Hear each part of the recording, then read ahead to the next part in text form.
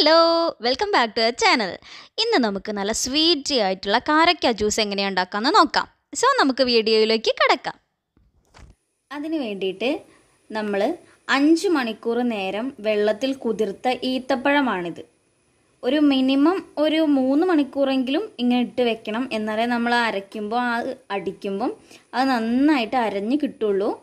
അപ്പം നമ്മളിത് അഞ്ച് മണിക്കൂർ കുതിർത്ത് വെച്ച ഈത്തപ്പഴം. അപ്പം നമുക്ക് ആദ്യം നമ്മൾ കുതിർത്ത് വെച്ച ഈത്തപ്പഴം നമുക്ക് ആദ്യം ജാറിലിട്ടൊന്ന് നന്നായിട്ട് അടിച്ചെടുക്കാം.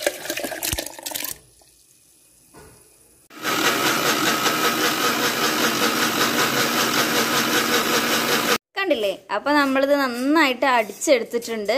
ഇനി നമുക്കിതൊന്ന് അരിച്ചെടുക്കാം. ഇനി നമ്മൾ കട്ടിപ്പാൽ ചേർത്തിട്ട് നന്നായിട്ടൊന്ന് അടിച്ചെടുക്കുകയാണ്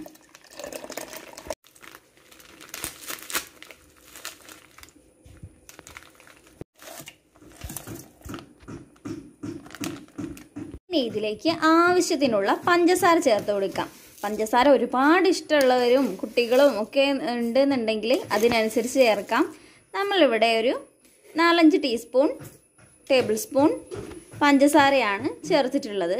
നമുക്ക് ഇഷ്ടത്തിനുള്ള അളവിനനുസരിച്ച് ചേർക്കാം കേട്ടോ നമ്മൾ നേരത്തെ അടിച്ചു വെച്ച ഈത്തപ്പഴത്തിലേക്ക് നമ്മൾ ഇപ്പം അടിച്ചു വെച്ച കട്ടിപ്പാലും കൂടി നന്നായിട്ട് പാർന്ന് മിക്സ് ചെയ്യാണ്. ഓക്കെ അപ്പം നമ്മൾ നമ്മൾ അടിച്ച് വെച്ച ജ്യൂസിൽ നിന്ന് കുറച്ച് എടുത്തിട്ട് നമ്മൾ ഇരുപത് ഗ്രാം ബൂസ്റ്റ് എത്ര ഇഷ്ടം അളവിനനുസരിച്ച് ആണ്.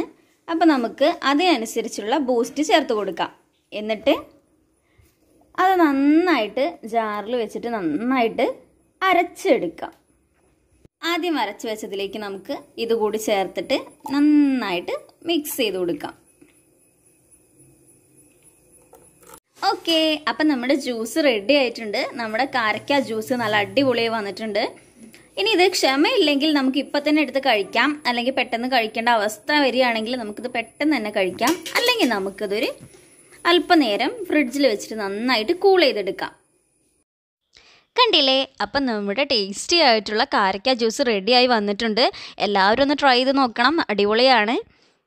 വീഡിയോ ഇഷ്ടപ്പെട്ടാൽ സപ്പോർട്ട് ചെയ്യണേ പ്ലീസ് അടുത്ത റെസിപ്പിയുമായി കാണുന്നത് വരെ ടാറ്റ.